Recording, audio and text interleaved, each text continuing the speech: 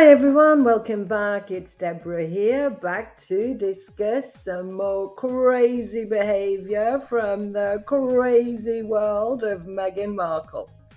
And today we're going to look at why she loves using kids as props. I mean, let's face it, everyone in the Meghan show is either a supporting character, an extra, or a prop. And she has the main role, of course. She has to be loved, adored, and admired by everyone, as dictated by her narcissism. But why is she so obsessed with showing us how much children love her when they obviously don't? Simple. Because she is constantly cosplaying Diana.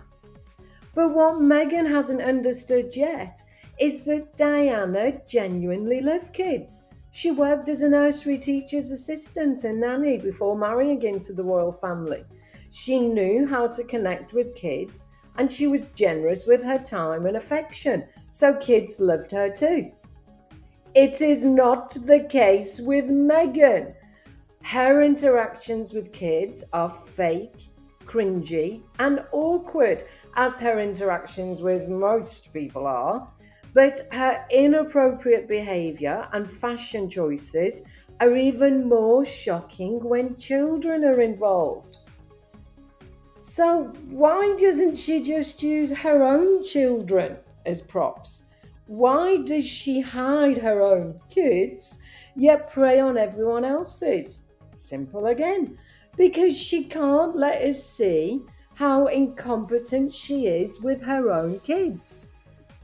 I mean, come on. How could she possibly preach to us peasants about how to raise kids and present herself as Supermum of the Year if we can all clearly see with our own eyes that she's just not good at it? And hey, we don't all have to be supermums. We can be a good parent in many different ways.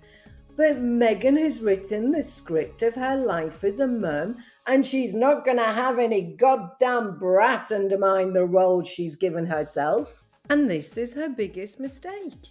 You know how we say, if you do a job that you love, you'll never work a day in your life. Well, Meghan hates kids.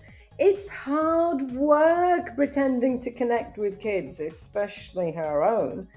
That's why she only has an hour per week to spend on Archewell. She's exhausted with being fake because Meghan is only interested in herself. And it is so hard trying to pretend to connect with others, especially children. As a working member of the royal family, she suffered more natural public appearances and was accordingly criticised because there's nothing natural about Mimi Meghan and she's not maternal. After her freedom flight, she tried more coordinated appearances, you know, like the strange hike that she went on, where I hope to God that that was a doll inside her baby carrier. Because if that was real Archie that she had flapping around inside, strapped to her chest, with his legs and his limbs flailing everywhere. I mean, God help the poor child. Then she tried using Archie as a more scripted prop. Do you remember that awkward uh, interaction where she was reading him the story? Duck Rabbit. I mean, how ridiculous was that? Because Archie didn't stick to the script and Meghan couldn't cope with it. Again, Meghan is only interested in herself, her own image. So when Archie doesn't follow script and he doesn't want to read her goddamn stupid book, he wants to read another book, or he wants to just like, you know, do what kids do and like chew on the page or something. She can't cope with it. The mask slips are unbelievable. And at the end, when Archie clearly says da da da, and she looks straight at the camera with her psychotic eyes and tries to convince of all that is all that he said, Duck Rabbit, she shows how evil she is, that she can't have Harry outdoing her in the role of being the best parent in the world. Duck rabbit.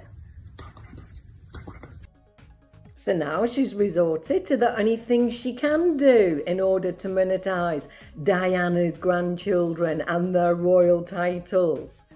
She uses her kids as props in paid and edited reality TV shows, and everyone else's kids are unpaid and edited props, relentlessly clawed and hugged as her role as Supermum is as fictional as her claims of being bullied. But the more she repeats it, the more it becomes true.